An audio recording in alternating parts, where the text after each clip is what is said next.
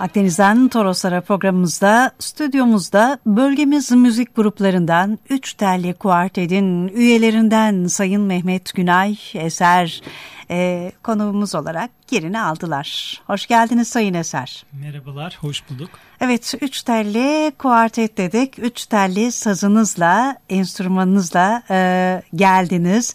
E, ama 3 telli deyince akla bağlama gelir.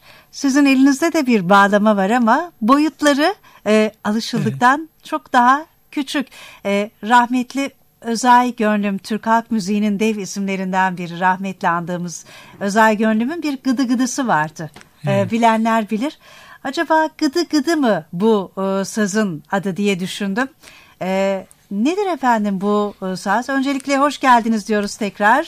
Hoş bulduk. Evet. Şimdi özel gönlümün e, bağlamasının formu ve yapısı buna benzer e, fakat e, tam olarak aynı olduğunu söyleyemeyiz. Onu da buradan saygıyla analım büyük ustayı. Evet. E, üç telli bağlama e, biraz daha e, farklı bir yapıda bir çalgı. Boyut ve form olarak çok küçük. Çünkü bunu genelde teke bölgesindeki çobanlar işte dağlarda koyun güderken falan e, yanlarında götürüyorlar. Ve konar göçer kültürün bir unsuru olduğu için bu çalgı daha küçük formda yapılmış. Çünkü taşıması kolay olsun diye insanlar bazen ceplerinde bazen sırt çantalarında e, taşıyabiliyor, taşıyabiliyorlar bu çalgıyı. Perde yapısı biraz daha farklı normal bağlamadan e, daha az perdeli e, ses tınıt, tınısı, eşik e, boyu gibi birçok unsuru da e, farklı üç evet, telli bağlamanın. Üç telli bağlamayı biraz tanıdık e, ve bu bağlamaya ses veren, hayat veren ve bizi farklı yerlere götüren yorumcusunu sizi Sayın Mehmet Günay Eser'i de tanıyalım istiyoruz. Kimdir Mehmet Günay Eser? Teşekkürler. Ee, insanın kendini anlatması biraz zordur genelde ama e, kısaca bahsetmeye çalışayım. Ee, ben müzik öğretmeniyim. Ee, Tarsus doğumluyum. 1992 yılında Tarsus'ta dünyaya geldim. Ee, daha sonra lise öğrenimimi Mersin Nevit Kodallı Anadolu Güzel Sanatlar Lisesi'nde tamamladıktan sonra Samsun 19 Mayıs Üniversitesi'nde müzik eğitimi bölümünü bitirdim. Lisede de müzik miydi bölümünüz? Tabii lisede de müzik hı hı. okudum. Daha sonrasında üniversiteden mezun olduktan sonra e, tekrardan e, kendi çalışmalarıma yöneldim. E, okuldaki ders yoğunluğundan kurtulduktan sonra daha böyle e, geniş bir vakit ayırıp kendime e, müzik çalışmalarıma ağırlık verdim. Bu bölgede kaybolmakta olan müziklerle ilgileniyorum. E, Anadolu geleneksel müziğinin arşivlenmesi konusunda çalışmalar yürütüyorum. E, bu şekilde devam ediyorum çalışmalarıma. Neden kaybolmaya yüz tutmuş müzikler? Bunlar sizde nasıl bir tutkuya dönüştü merak ediyoruz. Aslında bu benim biraz e, hayata bakış açımla ilgili. E, günümüzde e, popüler müzik gerçekten e, bütün e, çevremizi sarmalamış durumda. E, türkülerimiz, Anadolu ezgilerimiz hepsi unutulmaya başladı artık. E, evet bu konuda çok değerli çalışmalar yapan ustalarımız var. Ama genç nesillere baktığımızda biraz daha... E, kötü bir görüntü ortaya çıkıyor. E, bu kaybolmakta olan müzikleri tekrardan e, ortaya çıkarmak, örneğin yaşlı icracılar var köylerde. Bunları kayıt altına alıp onların gelecekteki nesillere aktarılmasını sağlamak amacıyla ben de elimden gelen böyle bir çalışma yürütmeyi uygun gördüm. Ne kadar güzel. Şimdi bu şirin, küçük, sempatik enstrüman adı üç telli olan ve elinizde bir çocuk edasıyla adeta koruyup sarıp sarmaladığınız, e, özenle tuttuğunuz e, bu güzel enstrümanı bizim bağlama olarak bildiğimiz, küçülmüş hali olarak gördüğümüz üç telliden e, ezgiler dinleyelim.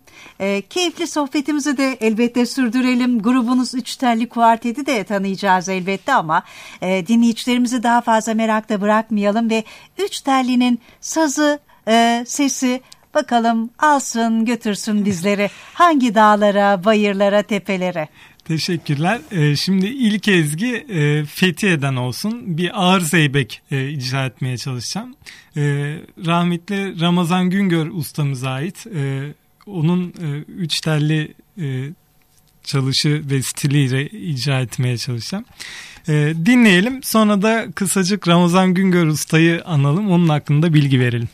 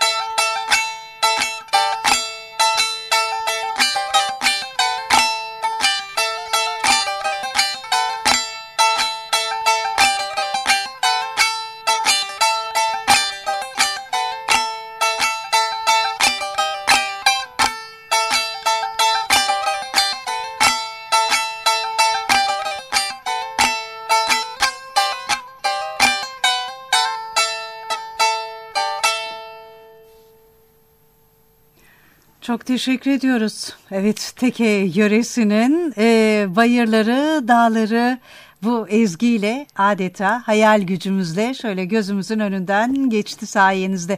Müziğin Çok gücü ve güzelliği de bu olsa gerek. İşte sanat ve sanatçı budur dedirtiyor insana. Ramazan Güngör Usta'nın e, güzel bir eseriydi icra ettiğiniz. Ramazan Güngör Usta'yı konuşacağız. Kimdir Ramazan Güngör? Ramazan Güngör ustamız e, Üç Telli'nin e, gelmiş geçmiş en önemli icracılarından biridir. Kendisi Fethiye'de e, doğup büyümüş, orada yaşamış bir ustamızdır. İnşaatta çalışırken geçirdiği bir kaza sonrası ayaklarını kaybediyor.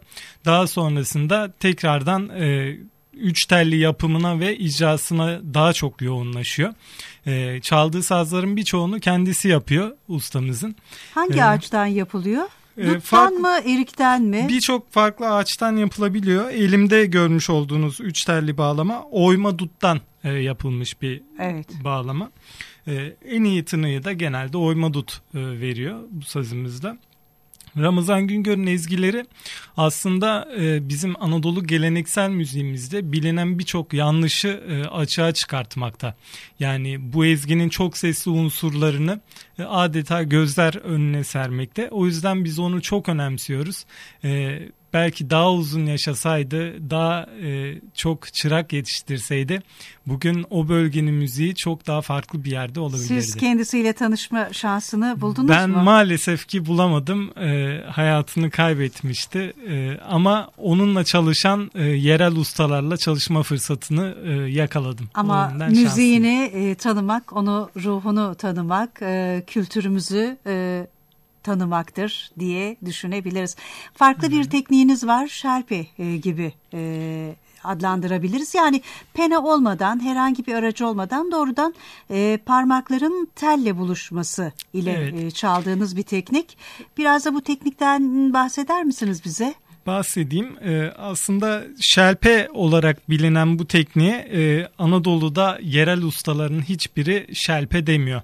Bu daha sonra çıkan bir terim. E, el ile çalma e, deniyor veya pençe diyor. E, bu tarz isimlendirmeler e, mevcut. E, yörede de aynı şekilde. E, ben de el ile çalıyorum. E, bu bağlamada e, bağlamayla aramıza herhangi başka bir unsur, plastik, tezene veya başka bir şey soktuğumuzda o tını değişiyor. Çok daha yüzyıllar öncesine gittiğimizde ise bunun dini boyutları e, olduğu e, birkaç kaynak tarafından söyleniyor. E, örneğin Tanrı ile olan inançlarda e, Tanrı'yla iletişim kurma yolu olarak e, bu çalgıları görüp e, araya başka herhangi bir unsur almama gibi görüşler mevcut. Yani yüreğinizi doğrudan e, Aynen, enstrümana, sazınıza e, döküyorsunuz. E, yüreğinizden dökülenler de işte budur. Ne Aynen kadar e, güzel. Bağlama icra teknikleri konusunda e, bu araştırmalarınız bir de e, çalışmaya dönüşmüş durumda. Bunu da yaptığımız araştırmada öğrendik. Yani e, tam kapsamıyla gerçek bir müzisyen, gerçek bir sanatçı olduğunuzu özellikle söylememiz gerekir. Sayın e, Mehmet Günay Eser. Biraz da bu çalışmanızdan bahseder misiniz bize? E, genelde yine üniversite dönemime rastlayan zamanlarda e, çok yoğun bir okuma temposu içine giriştim. E, bu çalışmalar sırasında bilinen e, gördüğüm bazı yanlışlarla aslında gerçekte doğada ve bu müziğin özünde neler olduğunu karşılaştırma fırsatı buldum. Bununla ilgili olarak e, bağlamada e, icra teknikleriyle ilgili olarak e, gerek, gerek terminolojik kelime anlamları ile ilgili gerek de e, bu sazın morfolojik yapısıyla ilgili e, çalışmalar e, iç, içerisine girdim. Örneğin çalgıda kullanılan tellerin yapısı, e, bunların nelerden üretildiği benim dikkatimi çekti. E, daha daha sonrasında bununla ilgili ilk başta e, kendi üniversitemde olmak olmak üzere e, eğitim çalışmaları gerçekleştirme fırsatı buldum elimden geldiğince. Evet. Bu çalışmaların kaynağı da yine e, köylerde yaşayan üç telli ustalarımız e, olarak karşımıza çıktı. Evet. Peki bizim yöremizde e, var mı? Teke yöresinde var da Çukurova'da var mı? Ee, şöyle Üç telli var mı ya da unutulmaya yüz tutmuş bu ve bunun gibi halk sazlarımız var mı? e, tabii ki üç telli bağlama aslında konar göçer kültürün bir unsuru olduğu için e, Anadolu'nun birçok yerinde yörüklerle, e, çobanlarla göç sırasında bir yerden bir yere gitmiş. Bizim bölgemizde de çok çok eski zamanlarda var. E, fakat e, Teke bölgesi daha çok bunu koruyabilmiş. E, şu an oranın e, köylerinde yaşayan ustalarımız hala bunu çalıyor. Fakat Çukurova bölgesinde ve e, yakın çevrede üç telli çalan ustalarımız yok.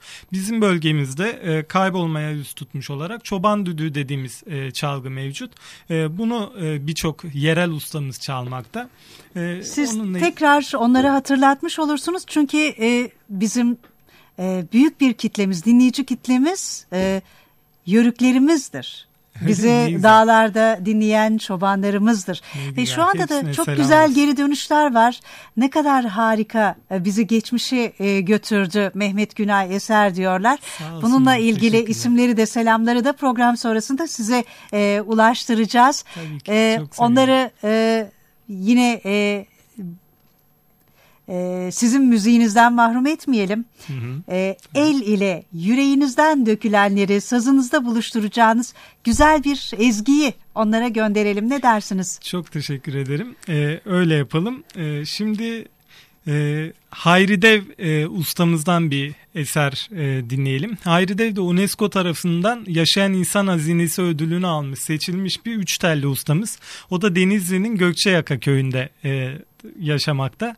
E, Ramazan Güngör Usta'ya yetişemedim ama onun çıraklığını yapma e, onurunu yaşadım. Ne mutlu. Ee, onunla ondan öğrendiğim bir zeybeyi e, icra etmeye çalıştım. Dinliyoruz.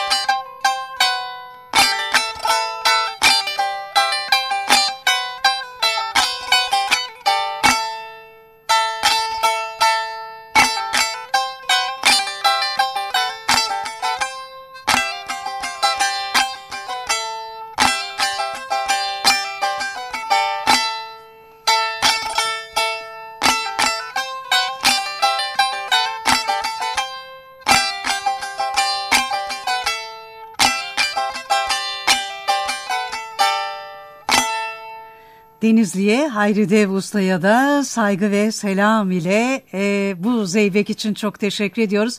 Elinize, gönlünüze sağlık. Ben teşekkür ederim. Üç Telli Kuartet'in bir üyesisiniz. Ne zaman kuruldu? E, hangi amaçla kuruldu grubunuz? Diğer üyeler kimler? Onlar da mı üç telli bağlama çalıyor? Evet, e, normalde Üç Telli Kuartet grubu e, bizim albümümüzde e, çalan e, üç ustayla e, düşündüğümüz bir şeydi. Fakat Güney Kore konserinde bize başka bir arkadaşımız eşlik etti. Üç telli bağlamanın farklı e, formlarını kullandık. E, bu albümümüz e, çıktı yine Anadolu'dan 3 te, üç telli ezgiler isimli. E, geçen ay çıktı. E, bu albümde e, yer alan Anadolu'dan üç telli ezgiler. Evet. E, bu albümde yer alan Yusuf İhsan Bodur, Osman Kırca, Ali Ulutaş ustalarımızla çalışmalarımız e, devam edecek. E, geçen ay e, Evet geçen ay Güney Kore'de düzenlenen e, Sorry International Müzik Festivali'nde e, yer aldık. E, ezgilerimizi Güney Kore'de tanıttık. Üç tane kuartet grubu olarak bu festivale gittiniz. Başka evet. festivaller de tabii gittiğiniz başka festivaller katıldığınız evet. etkinlikler de var evet, değil mi? Benim bireysel olarak çok fazla katıldığım festival var ama üç tane kuartet olarak ilk olarak Güney Kore'de e, bir araya gelip çalma fırsatı bulduk. Başka hangi ülkelerde performansınız oldu? Ee, benim Portekiz'de, Almanya'da, İsviçre'de, e, şimdi bu ayın sonunda Macaristan'da e, konserlerim olacak. E, bu şekilde devam ediyor. Peki oradaki insanların üç telli kuartede bu enstrümana ilgisi nasıldı? Benim e, uzak doğu ülkelerine karşı büyük bir hayranlığım var zaten. Orada karşılaştığım e, çalgıya saygı beni çok etkiledi. Örneğin oradan Tarsus'a yanıma gelen bir profesör doktor Sangil Cho vardı. E, Hangi etnomüzikolog Kore'de. Güney Kore'den. Hı hı. Evet. E, o ona çalgıyı eline verip e, fotoğraf çekmek istediğimde sen varken çalgıyı çok iyi çalabilen ustalar varken ben elime e, alıp poz veremem dedi. Bizim inancımız böyledir. E, sanatçıya saygı vardır falan. E, bu beni çok etkilemişti. Oraya gittiğimde de gerçekten müziğe ve sanatı olan büyük ilgiyi e, yani çok göz yaşartacak seviyede gerçekten, hissettim. Gerçekten çok çok güzel bunları e, duymak. E, üç telli kuartet olarak önümüzdeki dönem hedefleriniz neler? E, bunları da öğrenelim sizden. E, şimdi Batı müziği, e, klasik Batı sanat müziği e, çalgılarıyla birlikte yapacağımız projeler olacak. Onun dışında e, birçok farklı kons- ülkelerde konserlerimiz olacak. Bunlardan ilki Macaristan, daha sonrasında Fransa, Yunanistan gibi ülkelerde düşünüyoruz. Üç telli bağlamayı gittiğimiz ülkenin yerel sanatçılarıyla bir araya getirmek gibi bir fikrimiz var. Yani orada da böyle yaşlı, kendi yerel çalgılarını çalan ustalar var. İşte Onlarla bir araya evrensel getirmek. Dili ve gücü ve güzelliği bu olsa gerek değil mi? Aynen öyle. Ee, gerçekten e, böyle uluslararası başarılara imza atan sanat e, anlamında çok güzel işler yapan Üç Telli Kuartet adlı bu büyük e, müzik grubunun Mersin'de olması, bölgemizde olması e, bizim için bir güç, bir onur bir güzellik, bir gurur, e, daha nice gurur haberlerinizi birlikte e, yaşamak ve paylaşmak dileğiyle diyoruz. Mehmet Günay Eser çok teşekkür ediyoruz. Sizden dinleyeceğimiz bir eserle bugün programımızı e, kapatacağız. Nice güzel başarılara imza atacağınıza olan inancımızla katıldığınız için çok teşekkürler efendim. Sevgili dinleyenlerimiz program yapımcımız Cem Koçu, teknik yönetimde Hamdi Alıcı, Yetkin Boş Durmaz, mikrofonda ben Nur Görür. Bölgemiz müzik gruplarından uluslararası başarılara imza atan Üç Telli Kuardet'in üyelerinden Mehmet Günay Eser'in performansıyla bugün sizlere veda ediyoruz. Yarın 10 haberleri sonrası yeniden birlikte olmak üzere her şey gönlünüzce olsun diyerek.